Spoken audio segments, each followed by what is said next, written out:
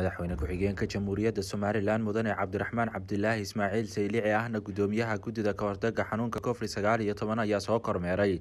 Dhismaha cusub ee xarunta gargaarka deg deg ah oo ay maalgelisay xukuumadda somalilan xaruntan oo noqon doonta goob u diyaarsan xaaladaha deg dega ee xanuunada sida covid nneteen oo kale oo u baahan goob u gaara oo loogu adeego oo wixii hadda ka dambeeya loo asteeyey in lagula tacaalo bulshadana loogu adeego iyadoona loo aqoonsaday xarunta qaran lagana dhisay cisbitaalka weyn ee hargeysa.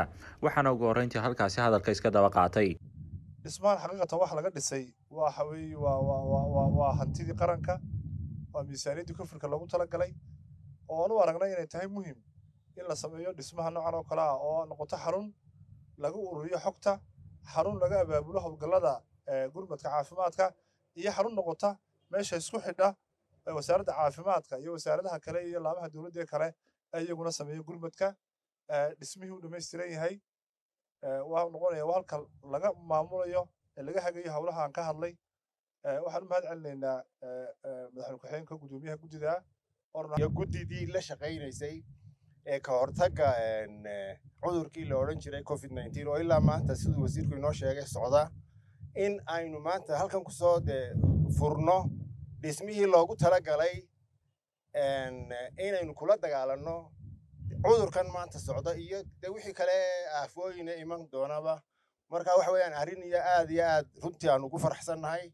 Inkastoo dhibaato weyn inugu dhacdo dee cudurku inu heleelay haddana waynu ka faa'iidaysanay oo dee khibrad waynu ka hellay sidii aynu aafooyinka uga hortegi lahayn iyo sidii aynu ula dagaalami lahaynba dhismahani wuxuu ka mid yahay meelihii lagula dagaalami lahaa ee aynu dee hore ugu marin lahayn inaynu wixii aafooyine dee dhacaya aynu dee ka hor tagno aynu wasiirka diinta iyo awqaafta khaliil wasiirka cumar wasiirka caafimaadka iyo dhammaan asxaabta idan kale aanu ka wada shaqeyna wasaaradda caafimaadka waan idin salaamaya salaanka bacdi haddaan yar dul istaago xaruntan aynu hortaaganahay imaka madaxweyne ku-xigeenka uu furayo qaybteedii hore waa xarun loogu talagalay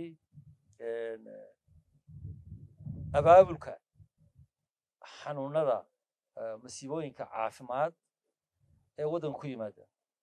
Waa xarun ay shaqadeedu noqon doonto in lagula socdo oo lagu kor joogteeyo xanuunada faafa iyo kuwa aan faafina masiibooyinkaa sida dhulgariirka oo kale waxyaabaha noocaas oo kale ah in lala socdo si markaa loo siiyo jawaabtii ku habbooneed ee ugu degdega badnayd. Waa sida debdemiyaha oo kale. Insha allah inoo fududeeyo cid kastoo ka qayb qaatan ilaahay subxaana watacaala abil ajri xasanaad allah ka siiyo. Intaa kadib waxaan salaamayaa dhammaan madaxda qaranka u horeeyo madaxweyne ku-xigeenkeena mudane cabdiraxmaan cabdilaahi zaylici wasiirka wasaaradda caafimaadka horumarta caafimaadka sidoo kale aqoon-yahanada iyo dhakhaatiirta kala duwan ee goobta joogta ku faraxsana hawshan iyo doctor deeq oo isna nagala jooga iyo asxaabtiisa w o nagala joogta dhankiisa waxaa halkaasi ka hadlay madaxweyne ku-xigeenka jamhuuriyadda somalilan cabdiraxmaan cabdilaahi ismaaciil saylici waxaana uu sheegay. Dhammaan madaxda halkan iskugu timiday marka hore waxaan lehay asalaamu calaykum waraxmatullaahi wabarakaatu salaan kadib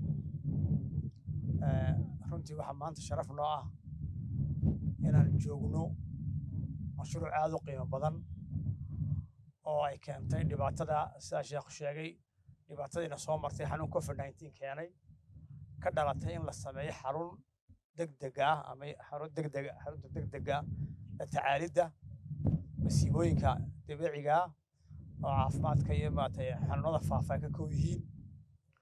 Runtii waxaa nagu dhiiri gelisay wasaaradda caafimaadka oo kaashanaysa hay'adda w h o in la helo in xarun aan dhisno.